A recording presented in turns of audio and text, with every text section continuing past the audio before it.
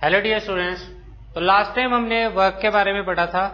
क्या वर्क का हमने फॉर्मूला पढ़ा था? वर्क का मतलब ए से बी तक किसी भी बॉडी को लेकर जाना। With the application of force अगर उस फोर्स ने डिस्प्लेसमेंट कर दी तो वर्क हुआ। है किस पर? इस बॉडी पर। किसने किया? है इस फोर्स ने। कितना किया? है फोर्स और बॉडी की डिस्प्लेसमेंट और इसका ऐसा यूनिट होता है जूल यहाँ तक हमने कर दिया था। ठीक है? अब कई बार क्वेश्चन आता है डिफाइंड वन जूल तो बहुत आसानी से कर सकते हैं हम इसको। वन जूल कब इसका आंसर आएगा। फोर्स की वैल्यू अगर वन न्यूटन होगी और डिस्प्लेसमेंट की वैल्यू भी वन मीटर होगी तो अपने आप ही वर्क का आंसर भी वन जूल होएगा। जो यही से स्टेटमेंट बना लेंगे। Work done by a force on a body is set to be one joule if one newton of force produce a displacement of one meter in a body ठीक है? और question देखो इसमें। हाँ पूछा देखो।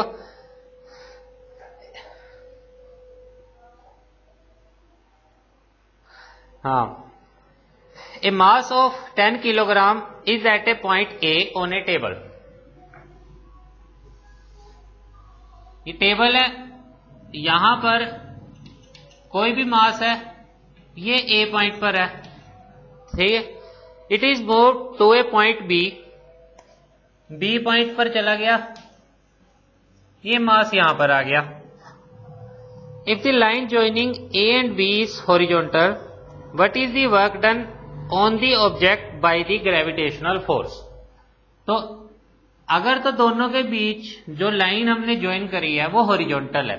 ये हॉरिजॉन्टल डायरेक्शन होती है और दूसरी वर्टिकल जो एक्स एक्सिस की तरफ़ डायरेक्शन होती है, वो हॉरिजॉन्टल वाई एक्सिस की तरफ़ वर्टिकल तो बोला गया है कि बताओ ग्रेविटेशनल फोर्स ने कितना वर्क डन किया। वर्क डन तो फोर्स ही करता है। तो जब ये इधर से इधर जा रहा था तो ग्रेविटेशनल फोर्स लग किधर रहा था?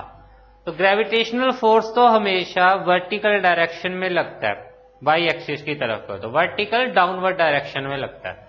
तो इस बॉडी पर यहाँ था, चाहे यहाँ था, हर जगह जो फोर्स लग रहा था ग्रेविटेशनल का, जिसको हम एमजी भी लिखते हैं, वो डाउनवर्ड डायरेक्शन में लग रहा था। अब डिस्प्लेसमेंट इस तरफ़ कोई तो फोर्स की वैल्यू है एमजी डिस्प्लेसमेंट कुछ भी हो सकती है एस तो फोर्स और डिस्प्लेसमेंट के बीच में एंगल है 90 डिग्री तो लास्ट टॉपिक में मैंने तुम्हें ये बताया था, आगे तुम बड़ी क्लासेस में भी पढ़ोगे तो वर्क डन का ये जनरल फार्मूला नहीं है. वर्क डन का जनरल फार्मूला है एफ़ एस कोस थीटा ये वैसे हायर क्लासेस में तुम पढ़ोगे तो अभी तुम्हें मैं शॉर्टकट बता देता हूँ कि अगर फोर्स और एस दोनों के बीच में जो एंगल है थीटा वो ज़ीरो डिग्री है तो वर्क डन पॉजिटिव आता है। थ्री टाइप्स के वर्क डन होते हैं ना। अगर फोर्स मान लो इधर है डिस्प्लेस बॉडी इस तरफ़ है तो दोनों में एंगल कितना हुआ? फोर्स इधर डिस्प्लेसमेंट इधर 180 डिग्री तो वर्क डन नेगेटिव आएगा। और अगर फोर्स और डिस्प्लेसमेंट मान लो ये फोर्स ऊपर की तरफ़ लग रहा है डिस्प्लेसमेंट इस तरफ़ होगी। कैसे होगी? किसी और फोर्स ने की होगी डिस्प्लेसमेंट ये फोर्स ऊपर की तरफ़ लग रहा है डिस्प्लेसमेंट बॉडी में इस तरफ़ होगी। तो फोर्स और डिस्प्लेसमेंट में एंगल हो गया 90 डिग्री तो वर्क डन ज़ीरो आएगा। ये अभी याद रख लो साइन थीटा कोस थीटा से तुम हायर क्लासेज में पढ़ोगे।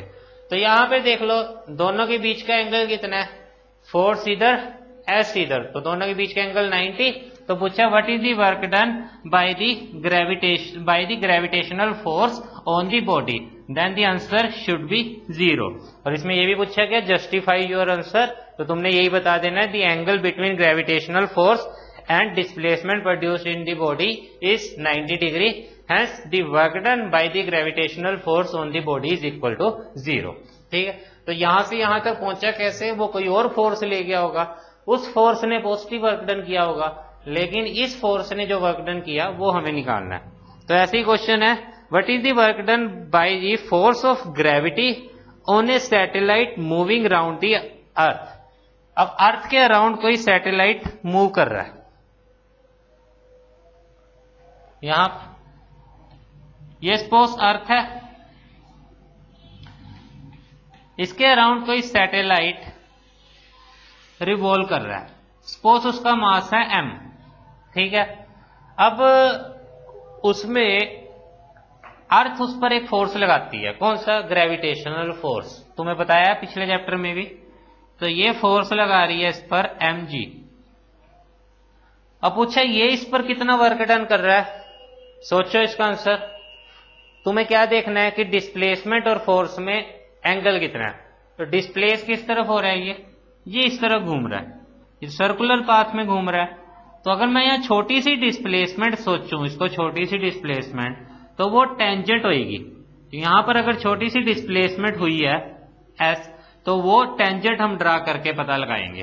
तो ये डिस्प्लेसमेंट और ये फोर्स दोनों के बीच में angle then the answer is कितना? ज़ीरो तो work done by the gravitational force on the satellite is zero तो इस तरह से तुम ये न्यूमेरिकल सोल्व कर सकते हो।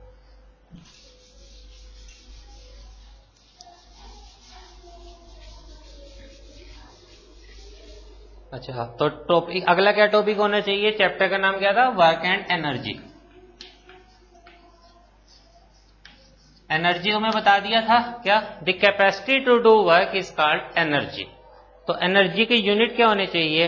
कैपेसिटी टू डू वर्क कि उसके बाद कितना वर्क करने की कैपेसिटी है? दो गुना वर्क करने की है, या तीन गुना वर्क करने की है? चार गुना. तो वर्क करने की या वर्क को सिर्फ़ मल्टीप्लाई कर रहे हैं, दो से, तीन से, या चार से तो यूनिट भी क्या होना चाहिए? दो, तीन, चार, उसका वर्क का यूनिट थोड़ा ना चेंज कर देगा, कि तो दो इस चीज़ से जो एनर्जी के यूनिट हो जाएँगे, वो भी जूल ही रहेंगे। सो ऐसे सिस्टम में एनर्जी का यूनिट यानी कि ऐसे unit of energy is also joule लेकिन बहुत सारे टाइप्स की एनर्जी होती है।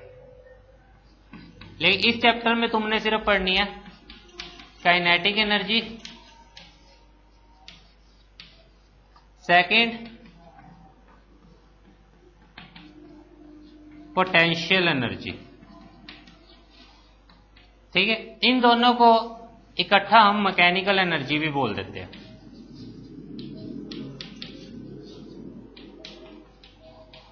तो इस चैप्टर में तुम्हें मैकेनिकल एनर्जी भी पढ़नी है। लेकिन एक एनर्जी तुम्हें और यहाँ पर उसका भी एक नोमेरिकल कराऊँगा, उसके बारे में भी समझा दूँगा। वो है electrical energy means there are many forms of energy. Other forms like chemical energy, heat energy तो बहुत सारी टाइप्स की एनर्जी होती है। और एनर्जी एक फॉर्म से दूसरी फॉर्म में कन्वर्ट भी होती रहती है। लेकिन हमें पता करना है सिर्फ़ मैकेनिकल एनर्जी वो क्या होती है? बॉडी के पास एक एनर्जी होती है। बॉडी कब कहेंगे कि बॉडी के पास काइनेटिक एनर्जी है? कब कहेंगे कि बॉडी के पास अब पोटेंशियल एनर्जी है? तो अगर बॉडी के पास ऐसा भी हो सकता है, दोनों एनर्जी है। काइनेटिक एनर्जी भी है और पोटेंशियल एनर्जी भी है। तो दोनों का सम बॉडी के पास मैकेनिकल एनर्जी है। ठीक है? तो देखो काइनेटिक एनर्जी के बारे में पढ़ते हैं। तो ये भी याद रखना energy is the capacity to do work तो एनर्जी वर्क से ही बनी है कि कितने गुना वर्क करने की उसके पास कैपेसिटी है। तो kinetic energy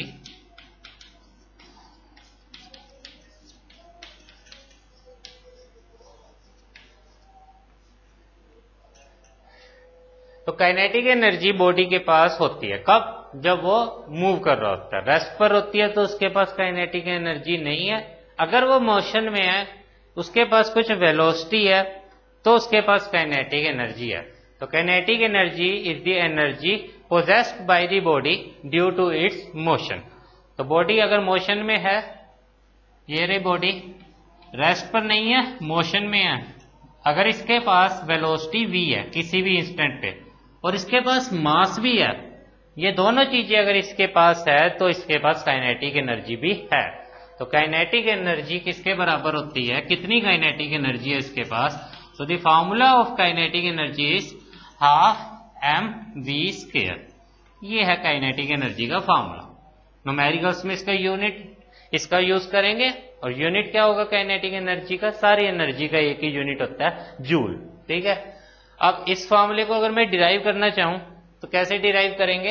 Derivation of the formula of kinetic energy suppose initially the object was at rest ये वाला ऑब्जेक्ट जिसका मास तो इनिशियल में भी एम ही था.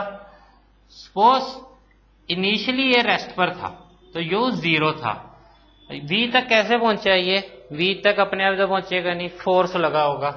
तो इस बॉडी पर फोर्स लगा होगा. एफ़ जो कि मैं वहाँ पे लगा रहा हूँ। तो फोर्स लगा जिसने उसकी वेलोसिटी वी कर दी। उसके बाद हमने फोर्स लगाना छोड़ दिया। ठीक है? तो यहाँ पर इसके पास काइनेटिक एनर्जी नहीं थी। यहाँ इसके पास काइनेटिक एनर्जी आ गई। काइनेटिक एनर्जी बनती किससे है? सारी एनर्जी वर्क से।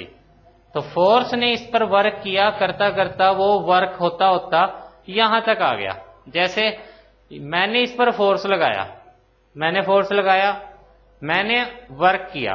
फिर मसल्स का ज़ोर लगाया, मेरी मसल्स ने वर्क किया। मैं इसको यहाँ तक छोड़कर आया तो मेरी मसल्स ने वर्क किया। मैंने इसको छोड़ दिया। ठीक है? अब जो मैंने वर्क किया, वो गया कहा? दिख तो नहीं रहा। तो वो इसने अपनी एनर्जी बना ली तो इसके पास एनर्जी आ गई। तो वर्क ही एनर्जी में कन्वर्ट हो जाता है। तो वही हम करते हैं, यहाँ से यहाँ तक जो वर्क निकाल देते हैं। तो जो वर्क है, वही कन्वर्ट हो गया एनर्जी में, वही एक्सप्रेशन होगा एनर्जी का। तो पहले वर्क निकालते हैं तो work done by the force to displace a body from its initial position to final position और from point A to point B is given by W is equal to force into displacement. What is the displacement? The shortest distance between point A and B is called displacement. यही work done ये energy होती है इसको बस किसी और form में हमें लिखना है तो work done force you know is equal to mass into acceleration equation number one. Force mass into acceleration के बराबर होता है, पता है। एक्सलेशन प्रोवाइड करिए। एक्सलेशन एक्सलेटेड मोशन है तो इक्वेशन ऑफ़ मोशन ये तीनों फॉर्मूले यहाँ अप्लाई हो सकते हैं। तो कौन सा फॉर्मूला यूज़ कर रहा हूँ मैं? मैं यहाँ पे थर्ड फॉर्मूला यूज़ कर रहा हूँ। We know V square minus U square is equal to two A S okay now we know put u is equal to zero क्यों? क्योंकि डायग्राम में लिखा हुआ है, u को ज़ीरो पुट कर दिया। तो कितना आ गया? V square is equal to two A S what the value of A S A S is equal to V square by two तो put in equation one A S की value equation one में put करते हैं। तो work कितना आ गया? M. S की जगह आ गया वी स्केयर बाय टू इसको थोड़ा मॉडिफाई करके लिखो। One by two M V square तो तुम्हें कहा था, यही वर्क डन को उसने अपनी एनर्जी बना लिया। तो कौन सी एनर्जी काइनेटिक एनर्जी तो वर्क डन की जगह रिप्लेस कर दो kinetic energy which is given by half M B square तो यही हमारा काइनेटिक एनर्जी का एक्सप्रेशन आ गया। ठीक है क्लास चलो, आज के लिए इतना काफ़ी है। जिससे आगे काम करेंगे नेक्स्ट लेक्चर में। Thank you class